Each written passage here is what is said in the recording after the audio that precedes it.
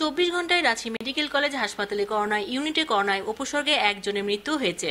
আজ শনিবার সকালে রাঁচি মেডিকেল কলেজ হাসপাতালের পরিচালক ব্রিগেডিয়ার জেনারেল শামীম ইয়াজদানি বিষয়টি নিশ্চিত করে জানান, শুক্রবার সকাল আটটা থেকে শনিবার সকাল আটটা পর্যন্ত গত চব্বিশ ঘন্টায় হাসপাতালে করোনায় উপসর্গ নিয়ে চিকিৎসাধীন অবস্থায় একজন মৃত্যুবরণ করেন। আচ্ছা মৃত ব্যক্তিকে স্বাস্থ্যবিধি মেনে দাফন সম্পন্ন করতে নির্দেশনা দেওয়া হয়েছে।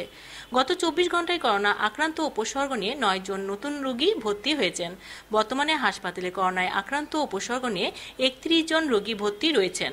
আর হাসপাতালে করোনা ইউনিটে বেড সংখ্যা রয়েছে একশো চারটি।